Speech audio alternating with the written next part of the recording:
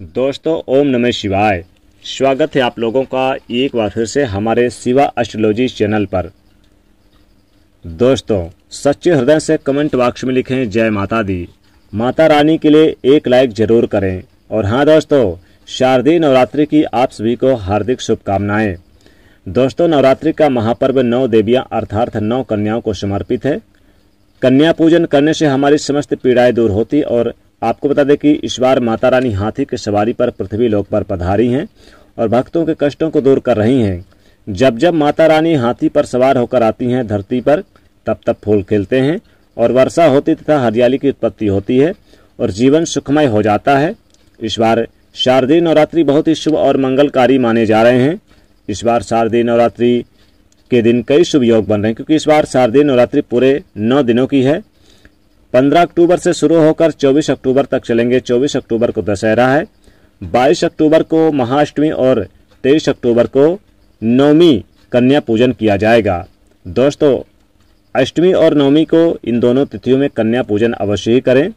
शास्त्रों में नौ दिनों की नवरात्रि को बहुत ही शुभ और मंगलकारी माना जाता है तो वहीं आठ दिनों की नवरात्रि को अच्छा नहीं माना जाता। ऐसे में दस दिनों की नवरात्रि को अच्छा माना जाता है, यानी बहुत ही शुभ माना जाता है। शास्त्रों के अनुसार नवरात्रि के दिनों में माता रानी का पूजन करने से कन्या पूजन करने से माँ अभय वरदान करती हैं।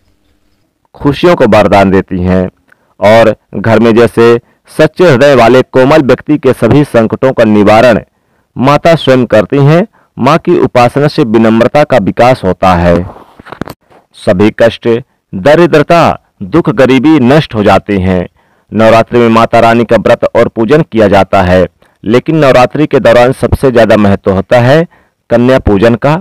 दोस्तों, माना जाता है कि व्रत और उपवास से माता रानी इतना प्रसन्न नहीं होती जितना कि कन्या पूजन से होती हैं। नवरात्रि में छोटी छोटी कन्याओं को माता रानी का स्वरूप माना जाता है। कन्याओं को भोग लगाया जाता है, उन्हें प्रसन्न किया जाता है और बदले में आशीर्वाद मांगा जाता है।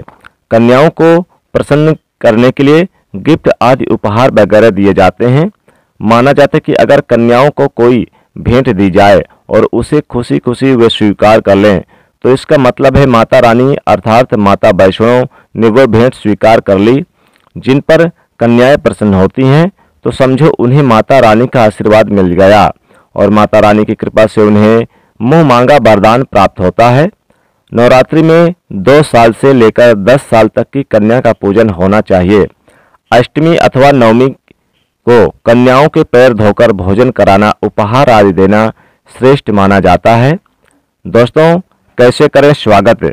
दोस्तों, कन्या जब आपके घर में आए, तब सभी के पैरों को दूध से, पानी से उनके पैरों को धुलाना चाहिए। फिर उसके उसके बाद कन्याओं को किसी साफ़ जगह पर, ज़मीन पर कपड़ा बिछाकर बैठाना चाहिए। उनके माथे पर अक्षत फूल और कुमकुम लगाना चाहिए। फिर उसके बाद भोजन ग्रहण करवाना चाहिए। लेकिन हमेशा याद रहे कन्याओं की थाली में तीन पूरियाँ कभी न रखें इसे शुभ नहीं माना जाता। तीन पूरियाँ तथा तीन रोटियाँ मरने के लिए निकाली जाती है और जेल में कैदियों के लिए दी जाती है। ऐसे में कन्याओं को उनके थाली में तीन पूरी कभी ना दें लेकिन एक दो करके पूरियाँ दे सकते हैं। इससे संक, तीन संख्या बट जाती है। दोस्तों कन्याओं को खाना खिलाने के बाद अंत में कन्याओं के सर पर लाल चुनरी ओढ़ाना चाहिए और भोजन में आपको खीर, पूड़ी, हलवा तथा आलू की सब्ज़ी, छोले, भटूरे वगैरह की सब्ज़ियाँ खिलानी चाहिए। पनीर आदि भी खिलाया जाता है, लेकिन भूल से भी लहसुन और प्याज का इस्तेमाल कभी ना करें। अन्यथा अनर्थ हो जाएगा। अक्सर कई लोग कन्याओं को कुरकुरे का पैकेट, चिप्स वगैरह पैकेट खिलाते हैं, जो कि ये घोर अनर्थ माना जाता है। क्योंकि इसमें लहसुन प्याज का इस्तेमाल होता है, जिसके कारण आपका व्रत खंडित हो सकता है। माँ दुर्गा क्रोधित हो सकती हैं, जहाँ आपने नौ दिनों तक लहसुन प्याज का परहेज किया, लेकिन आपने एक गलती पूरे, आपकी एक गलती पूरे व्रत को खंडित कर सकता है। कन्याओं को डंबा बंद कोई भी ऐसी चीज़ ना दें, जिसमें से एक लहसुन प्याज होता हो। कई चीज़ें तो ऐसी होती हैं जो मार्केट में जिसके अंदर लहसुन प्याज का इस्तेमाल होता है ऐसा आप कभी मत करना। दोस्तों, कई लोग कन्या पूजन में खाना घर पर नहीं बनाते और मार्केट से रेडीमेड लाकर खिला देते हैं, तथा वहीं दही जलेबी खिलाते हैं जो कि शुभ नहीं माना जाता। आप दही जलेबी खिला सकते हैं, परंतु माता को घर का बना हुआ शुद्ध भोजन ही अति प्रिय है। खासकर नवरात्रि के दौरान घर में पक्का खाना अवश्य बनाना चाहिए, जैसे पूरी हलवा खीर पकौड़े। माता रानी बहुत प्रसन्न है ये चीज़ें। घर का बना पक्का खाना ही कन्याओं को खिलाना चाहिए। हमेशा याद रखें, कन्याओं को प्लास्टिक के दोने में खाना नहीं खिलाना चाहिए। ऐसे बर्तन पूजा पाठ के लिए शुद्ध नहीं माने जाते, अशुभ होते हैं। कन्याओं को हमेशा स्टील के बर्तन या फिर पत्ते से बने बर्तन में भोजन कराना चाहिए। बहुत ही शुभ माना जाता है। दोस्तों, भोजन कराने के बाद कन्याओं की थाली में एक लौंग ज़रूर रखना चाहिए, क्योंकि लौंग देवी शक्ति तथा दुर्गा माता को बहुत प्रिय है। लौंग माता शक्ति का प्रतीक होता है। लौंग से नौ दुर्गा का वास होता है लौंग में। इन नौ दिनों में माता रानी को लौंग का भोग ज़रूर लगाया जाता है। बहुत ही प्रिय है। इसलिए कन्याओं की थाली में चुपचाप एक लौंग ज़रूर रख दें। आपका भाग्य चमक जाएगा। माता लक्ष्मी आपके जीवन में धन की कोई भी कमी नहीं होने देंगी। आपको बता दें कि कन्याओं को उपहार में क्या दें। कन्याओं को खुश करने के लिए उनकी थाली में दक्षिणा डालें ताकि आपके घर में संपन्नता बनी रहे तथा धन की कोई भी कमी ना हो। कन्याओं को कोई सुंदर सा गिफ्ट दे सकते हैं। शास्त्रों में बताया जाता है कि कन्या जितना खुश होती हैं, माता रानी उतना ही जल्दी फल की प्राप्ति प्रदान करती हैं। ऐसे में आप कन्याओं को चॉकलेट बॉक्स दे सकते हैं तथा खूबसूरत कपड़े दे सकते हैं। याद रहे, काले कपड़े ना दें और स्टील के बर्तन भी गिफ्ट के तौर पे दे सकते हैं। याद रहे, कन्याओं को लोहे का कोई भी सामान ना ही देना चाहिए। दोस्तों, जब कन्या अपने घर के लिए प्रस्थान करे तो उनके चरण ज़रूर छुए।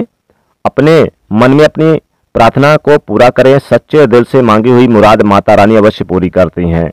दोस्तों, नवरात्रि के दिनों में अगर मिल जाए आपको ये संकेत तो समझो माँ दुर्गा आपके घर में आ चुकी है।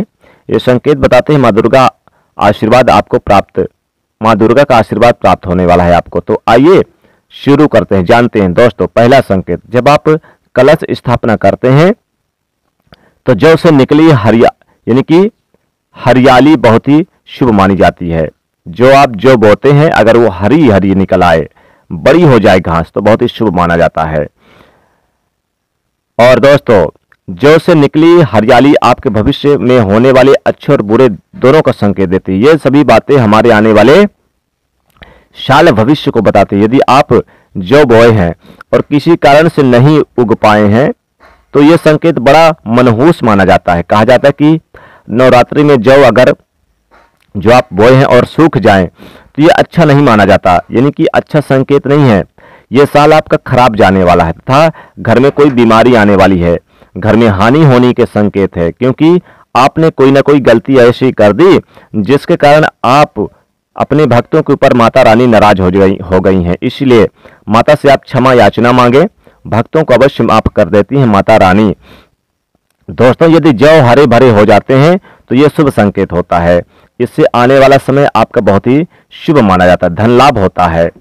एक रुपए का सिक्का या चांदी का सिक्का जो आप जौ के बीचों बीच अगर मिट्टी में दबा दिया जाए तो घर में सुख समृद्धि हावी होती है। माता रानी, कृपा बरसती है। माता रानी, माँ लक्ष्मी दौड़ी चली आती हैं।